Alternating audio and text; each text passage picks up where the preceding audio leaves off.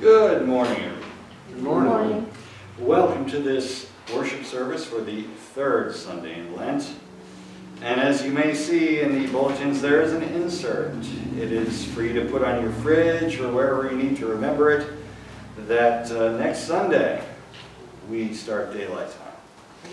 And so, of course, if you have your alarm set with your phone, that's going to figure itself out automatically. Uh, but as it says, you snooze, you lose. And uh, the benefit, of course, is it will be light in the evening a little longer. The downside is you lose an hour of sleep next Saturday night. So uh, otherwise, we have uh, Megan showers this afternoon at 2. The other service times are the normal ones. Uh, men's workday is next Saturday, and uh, so uh, you know it's, it's there's uh, nothing really out of the ordinary with the, the schedule. Uh, we've got Ascension in Huntsville. They will have the St. Louis uh, Seminary uh, Touring Choir on the 16th at 5. If anybody's interested in a choir uh, singing event. And uh, otherwise, for the sermon today, the title is Where is God? And it's talking about uh, the uh, gospel text and how it relates to us. Destroy this temple, and in three days I will raise it up. And we're going to look at what was really going on. First of all, why is the temple there? What was going on? And what motivated Jesus to create a whip of cords and, and go commando uh, uh, in the temple and drive the, the money changers and all those folks out? What was it that was going on that was desecrating the holy place? And what does that say about how God wants to dwell with us and where we think our God is? And how the relationship uh, between us and God means something for our lives. So that is the focus for today. So, uh, with that in mind, we begin with the opening hymn, In the Cross of Christ I Glory.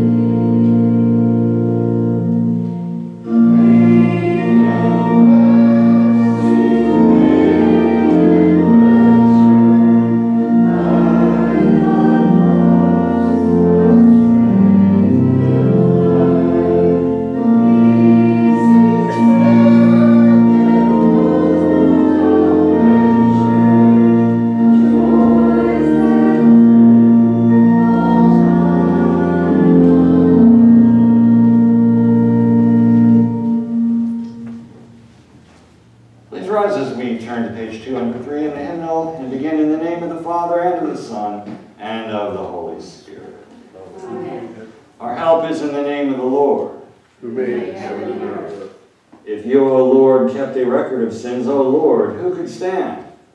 But with you there is forgiveness. Therefore you are feared. Since we are gathered to hear God's word, call upon him in prayer and praise, and receive the body and blood of our Lord Jesus Christ. In the fellowship of this altar, let us first consider our unworthiness and confess before God and one another that we have sinned in thought, word, and deed, and that we cannot free ourselves from our sinful condition. Together, as his people, let us take refuge in the infinite mercy of God, our Heavenly Father, seeking his grace for the sake of Christ and saying, God, be merciful to me, a sinner. Almighty God, have mercy upon us, forgive us our sins, and lead us to everlasting life. Amen. Almighty God in his mercy has given his only begotten Son to die for each and every one of you, and for his sake he forgives you all your sins. As a called and ordained servant of that same Christ and by his authority, I therefore forgive you all your sins in the name of the Father, and of the Son, and of the Holy Spirit. Amen. For zeal for your house has consumed me, and the reproaches of those who reproach you have fallen upon me.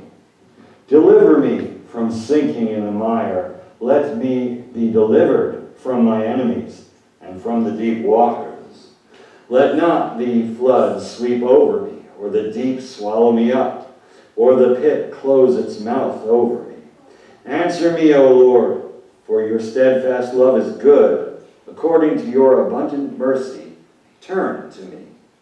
Glory be to the Father, and to the Son, and to the Holy Spirit as it was in the beginning, is now, and will be forever. Amen. For zeal for your house has consumed me, and the reproaches of those who reproach you have fallen on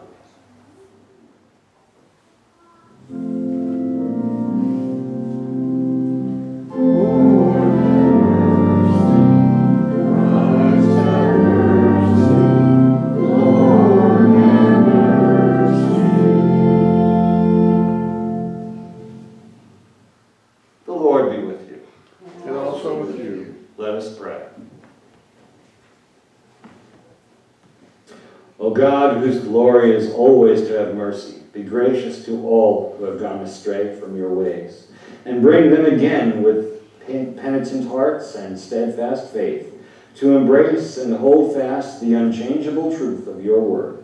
Through Jesus Christ, your Son, our Lord, who lives and reigns with you and the Holy Spirit, one God, now and forever. Amen. The Old Testament reading for the third Sunday in Lent is from Exodus chapter 20. And God spoke all these words, saying, I am the Lord your God, who brought you out of the land of Egypt, out of the house of slavery. You shall have no other gods before me. You shall not make for yourself a carved image or any likeness of anything that is in heaven above, or that is on the earth beneath, or as that is in the water under the earth. You shall not bow down to them or serve them, for I, the Lord your God, am a jealous God, visiting the iniquity of the fathers on the children to the third and fourth generation of those who hate me, but showing steadfast love to thousands of those who love me and keep my commandments. You shall not take the name of the Lord your God in vain, for the Lord will not hold him guiltless who takes his name in vain. Remember the Sabbath day to keep it holy. Six days you shall labor and do all your work, but the seventh day is a Sabbath to the Lord your God. On it you shall not do any work, you or your son or your daughter, your male servant or your female servant, or your livestock, or the sojourner who is within your gates for in six days the Lord made heaven and earth, the sea, and all that is in them, and rested the seventh day. Therefore the Lord blessed the Sabbath day and made it holy.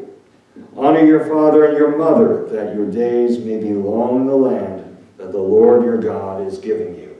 You shall not murder. You shall not commit adultery. You shall not steal. You shall not bear false witness against your neighbor. You shall not covet your neighbor's house. You shall not covet your neighbor's wife, or his male servant, or his female servant, or his ox, or his donkey, or anything that is your neighbor's. This is the word of the Lord. Thanks be to God. The epistle is from 1 Corinthians chapter 1. The word of the cross is folly to those who are perishing, but to us who are being saved, it is the power of God. For it is written, I will destroy the wisdom of the wise, and the discernment of the discerning I will thwart. Where is the one who is wise? Where is the scribe? Where is the debater of this age? Has not God made foolish the wisdom of the world? For since in the wisdom of God the world did not know God through wisdom, it pleased God through the folly of what we preach to save those who believe. For Jews demand signs and Greeks seek wisdom, but we preach Christ crucified, a stumbling block to Jews and folly to the Gentiles. But to those who are called, both Jews and Greeks, Christ, the power of God and the wisdom of God. For the foolishness of God is wiser than men, and the weakness of God is stronger than men. For consider your calling, brothers. Not many of you were wise according to worldly standards. Not many were powerful. Not many were of noble birth. But God chose what is foolish in the world to shame the wise. God chose what is weak in the world to shame the strong. God chose what is low and despised in the world, even things that are not, to bring to nothing things that are, so that no human being might boast in the presence of God. He is the source of your life in Christ Jesus, whom God made our wisdom and our righteousness and sanctification and redemption. Therefore, as it is written, let the one who boasts boast in the Lord. This is the word of the Lord. Thanks be to God. Please rise for the reading of the Holy Gospel. The Holy Gospel according to St. John, the second chapter. Glory to you, O Lord. The Passover of the Jews was at hand, and Jesus went up to Jerusalem. In the temple he found those who were selling oxen and sheep and pigeons, and the money changers sitting there. And making a whip of cords, he drove them all out of the temple with the sheep and the oxen. And he poured out the coins of the money changers and overturned their tables. And he told those who sold the pigeons, Take these things away. Do not make my father's house a house of trade. His disciples remembered that it was written, Zeal for your house will consume me. So the Jews said to him, What sign do you show for doing these things? Jesus answered them, Destroy this temple, and in three days I will raise it up. The Jews then said, It has taken 46 years to build this temple, and you, will you raise it up in three days? but he was speaking about the temple of his body. when therefore he was raised from the dead, his disciples remembered that he had said this, and they believed the scripture and the word that Jesus had spoken. This is the gospel of our Lord. Praise to you, O Christ. Together we confess the Christian faith using the words of the Nicene Creed on page 206. I believe in one God, the Father Almighty, maker of heaven and earth, and of all things visible and invisible, and in the Lord Jesus Christ, the only begotten Son of God, begotten His Father before all worlds, God of God, light of light, really God of very God, begotten, not made, in one substance with the Father, by whom all things were made, who the first man, and for our salvation, came down from heaven, and was incarnate by the Holy Spirit of the Virgin Mary, and was made man, and was crucified also for us under Pontius Pilate. He suffered and was buried. And the third day he rose again according to the scriptures, and is seated in heaven, and sits at the right hand of the Father. And he will come again in glory to judge both the living and the dead, whose kingdom will have no end.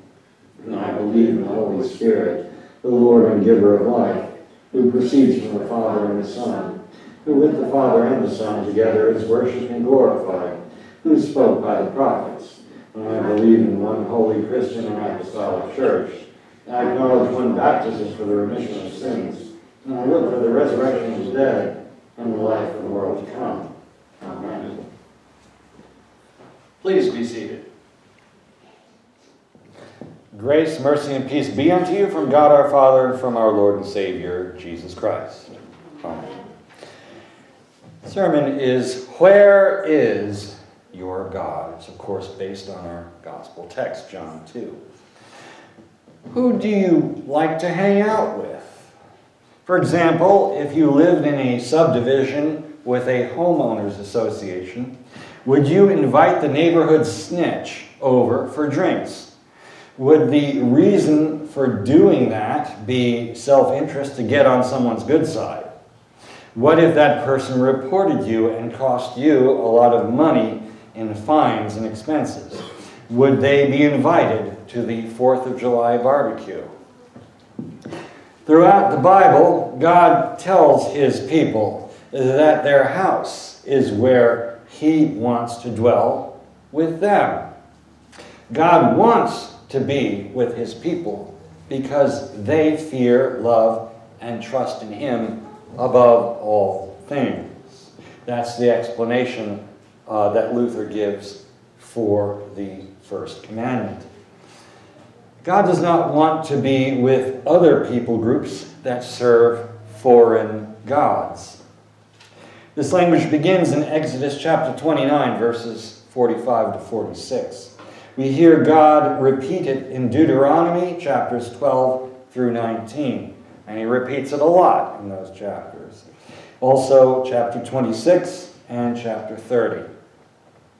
Here, chapter 16 in particular, Passover connects with the dwelling of the name of the Lord, the mercy that God offers his people, and the land that God gives to them as he fulfills his covenant with Abraham. Yet in 2 Samuel 7 verse 2, 1 Kings 8 verse 27, and 1 Chronicles 6 verse 18, we see a discussion about God dwelling in a temple. And here especially we listen to Solomon say that no temple built by hands, human hands, is truly fit for God. Ezra 6, verse 12, again mentions the name of the Lord dwelling in the rebuilt temple. Jeremiah and Ezekiel talk about life in God's land being tied to his mercy, yet being lost due to sin and unrepentance. Ezekiel and Zechariah speak of an eternal dwelling with God. Colossians chapter 1 ties this dwelling of God to Jesus Christ, whose union of divine and human natures in one person is the closest, the individual, uh, indivisible dwelling of God and man. And this is offered to us through the gospel in Colossians chapter 3. In Revelation 13, the political beast blasphemes God and those who dwell with him in heaven. Finally, as we read in Revelation 21, God dwells eternally with his people. So God wants us to be guests in his house. Not only guests, but family. The gospel text shows us the desecration of the temple. Most cultures throughout history have erected shrines or temples of some kind. These structures signify and define a holy space. This space must remain ceremonially clean, as we see in Exodus and Leviticus. These places indicate one or more important events. They define a place where people come close to the object of veneration and also closer to one another. This practice is older than recorded history. Shrines and temples have locations with precise and significant meaning. Jerusalem had been a Canaanite stronghold until King David conquered it. Yet, the temple was not a sign of David's greatness. Solomon may have been great, but after him, Israel and Judah started a 400 year race to the bottom, which got there around 600 BC. Ezra and Nehemiah rebuilt the temple, a dim echo of its former glory. Nevertheless, the former exiles gathered around the altar of God at Pesach, which is Passover, Shavuot, or Pentecost, Rosh Hashanah, and Yom Kippur. The ark was gone by this point in time, and so they replaced it with the stone from the holy place at Bethel in the former land of Israel. The lesson that every pious Jewish person knew at Jesus' time was that the temple was the place where God came to his people and chose to do chesed, grace, upon them. It did not matter how the temple looked. It mattered that God chose to dwell there and love his people. That's what made the temple great. Along came Herod the Great. He had served Rome well in several capacities. Herod became a clever and talented king, but he was not good. He was of mixed Arab lineage. He was known for his brutality, even condemned by the Sanhedrin while he was still a private citizen. The Roman Senate declared him to be king of Judea around 39 BC. Herod conveniently switched sides in political struggles thereafter, had several family members killed or exiled, and lived a life of debauchery. So around 19 BC, he started to rebuild and expand both the temple and the Temple Mount, giving us the western retaining wall that we know as the Wailing Wall today. Herod was a thug used by Rome to maintain power. He rebuilt the temple and gave the priests much power and prestige so that they would have his back. This new temple might have looked good, but it had a lot of dubious purposes about it. God had meant to dwell with his people in order to shower them with his grace. Herod and the priests had turned this place into a theater where the people suffered instead. They suffered financially due to the crooked money changers, and they suffered in general because the temple was yet another place where the Roman boot came down heavily upon them. So in John chapter 2, Jesus, the God of this very temple itself, became real angry. The wedding at Cana which John records right before our text, shows Jesus using divine power to show great love on people, even in everyday things. But at the temple, people's spiritual life and death were on the line. That was what the sacrifices that took away sin were all about. And the priests were extorting the people while denying them their grace, the grace that God wanted to do to them. So Jesus answered to the priests that he will raise up the temple in three days is echoed by Psalm 89, verses 35 to 36. Once for all, I have sworn my holiness. I will not lie to David. His offspring shall endure forever, his throne as long as the sun before me. This inheritance comes to us through the pure preaching of the gospel and the proper administration of the sacraments. Paul writes, We know that Christ, being raised from the dead, will never die again. Death no longer has dominion over him. For the death he died, he died to sin once for all, but the life he lives, he lives to God. So you also must consider yourselves dead to sin and alive to God in Christ Jesus. Romans 6, verses 9 through 11.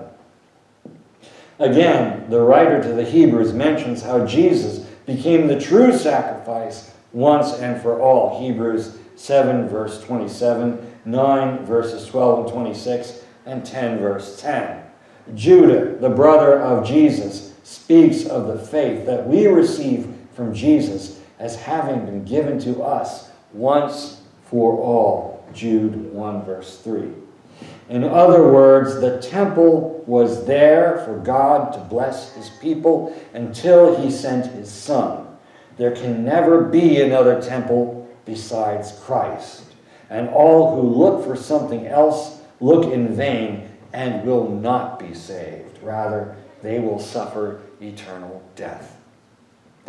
There is only one God, and there is only one Christ, whose sacrifice on the cross for us has covered our sins once and for all.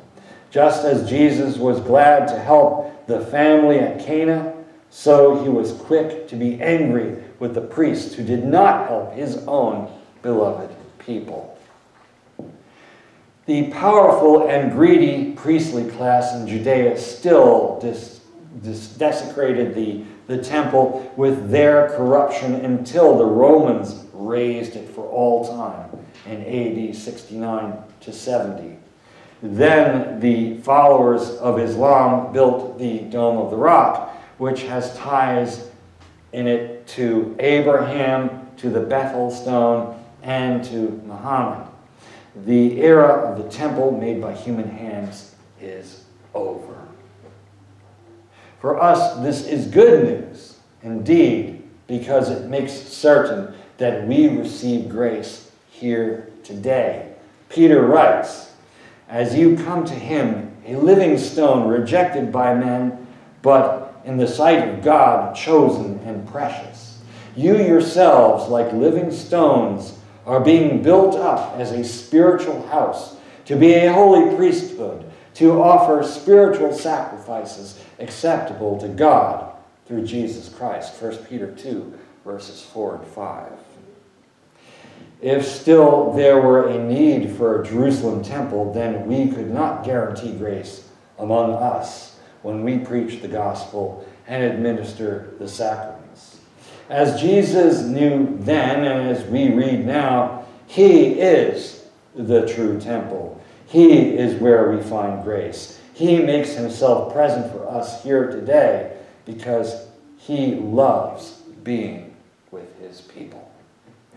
As you come up to this altar to receive the Lord's holy body and blood, our Lord invites you to His place now, yet either when we die or when the world ends, He will invite us, His people, to His place forever. We were just as bad as that neighborhood snitch. Our sins were as unclean as scarlet blood. But His blood has washed us clean, and we are His family now and forever. And the peace of our Lord and Savior Jesus Christ, which passes all understanding, keep your hearts and minds in the one true faith, even unto life everlasting. Amen. Let us pray for the whole church of God on earth in Christ Jesus and for all according to their needs. We ask you, O Lord, to remember with kindness those who have some sort of ailment, who are in need of healing, who are either healing from medical procedures or dealing with ongoing chronic uh, medical issues. Especially remember those who are struggling with cancer, struggling with chronic pain, uh, struggling with dementia, uh, and dealing with various uh, medical conditions, both post-operative as well as ongoing and chronic. And we know that uh, they have many crosses that they are bearing at this time. And we ask you, O Lord, to uh, be with them. If, if possible, Lord, remove the crosses that they bear, that they might find relief in you.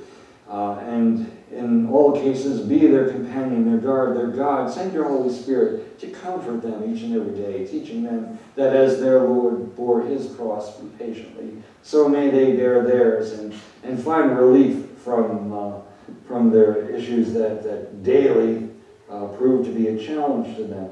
That they might know that there comes a day when uh, their hurts will be finally healed for all eternity. Lord, in your mercy. We ask you, Lord, to be with all who are in need of your divine protection. We ask especially that you be with the military, first responders, medical caregivers, those who are in authority, those who are traveling, those who are uh, considering vocational uh, choices. And uh, we ask you to be with all who are making choices in their lives and wondering uh, what's going to happen and how you're going to lead them. And, and Lord, since all things are known to you, we ask you to send your Holy Spirit to help them make the right choices, to guide them in their duties, to uh, protect them on their way, and to give them uh, a measure of mercy, even as you have shown us mercy, so that as they um, perform their duties, they do so in a way that points people to you and uh, your mercy that you have shown towards us that, that others might know that you indeed are a merciful God, slow to anger and abounding in steadfast love.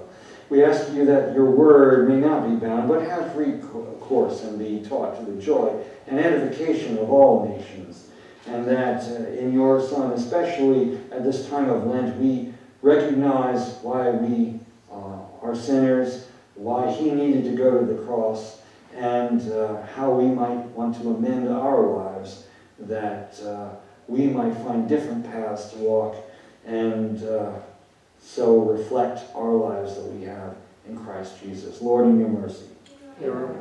For these and all other prayers, Lord, we set them before your throne of grace where you choose to be present for your people, both now and forevermore.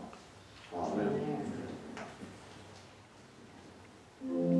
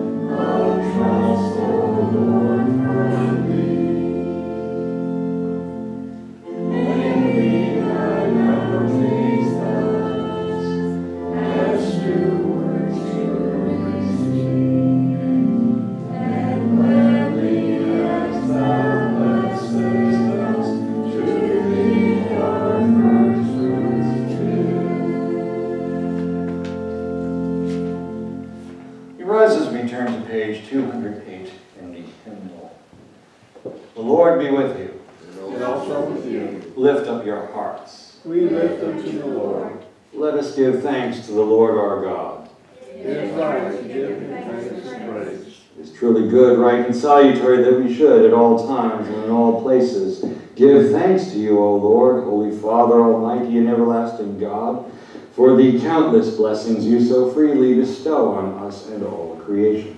Above all, we give thanks for your boundless love shown to us when you sent your only begotten Son, Jesus Christ, into our flesh and laid on him our sin, giving him into death that we might not die eternally. Because he is now risen from the dead and lives and reigns to all eternity. All who believe in him will overcome sin and death and will rise again to new life. Therefore, with angels and archangels, with all the company of heaven, we laud and magnify your glorious name, evermore praising you and saying, King of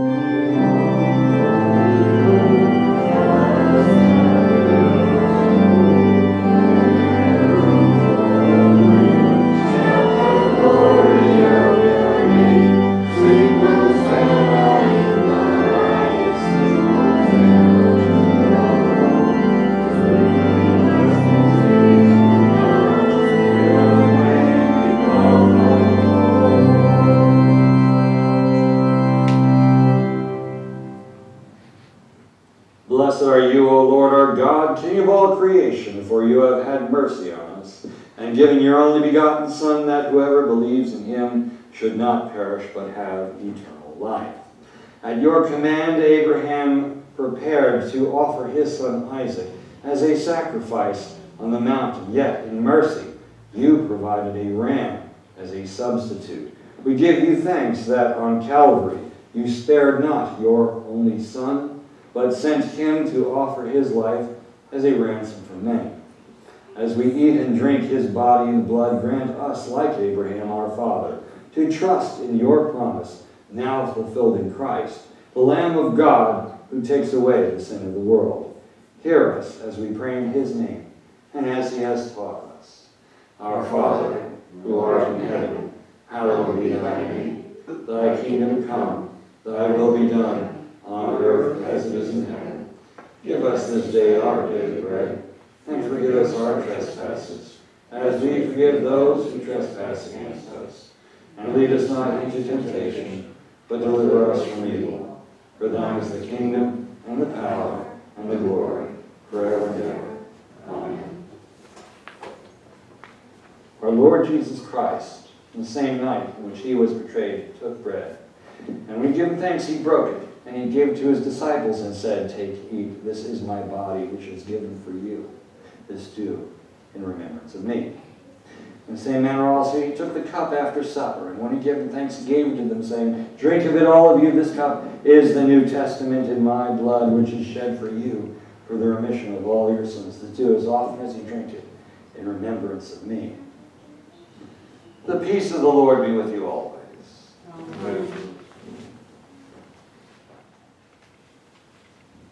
Amen.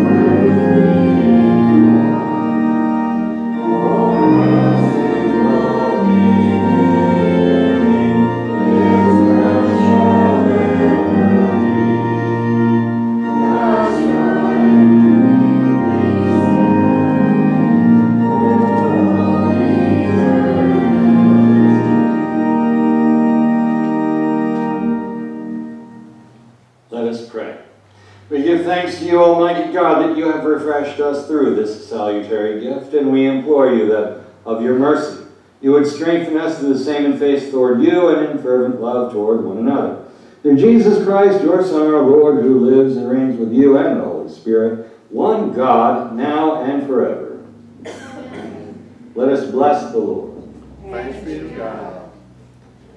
Lord, bless thee and keep thee. Lord, make his face shine upon thee, be gracious unto thee. Lord, lift up his countenance upon thee and give thee his peace. Amen.